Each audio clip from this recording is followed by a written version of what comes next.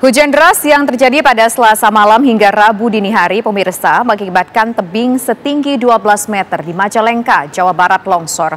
Akibatnya jalan nasional penghubung tiga kabupaten lumpuh total dan menyebabkan sejumlah kendaraan bermotor terjebak.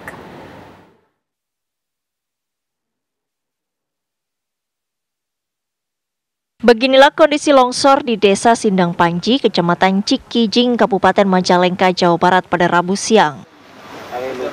Tebing setinggi 12 meter longsor akibat diguyur hujan deras sejak selasa malam.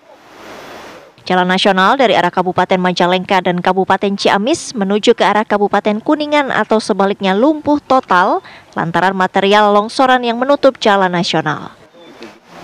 Sedikitnya satu buah truk dan sejumlah motor terjebak di antara empat titik longsor.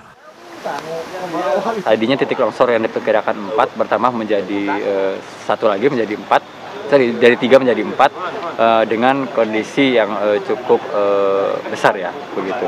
Memang kondisi uh, jalan di sini berkelok-kelok sehingga longsoran ini terjadi uh, pada level jalan yang atas dan menimbun level jalan yang di bawahnya begitu.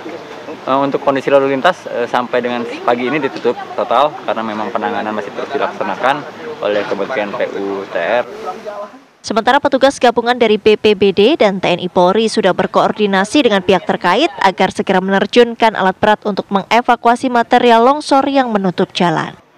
Dari Majalengka, Jawa Barat, Ervan Septiawan, TV One mengabarkan.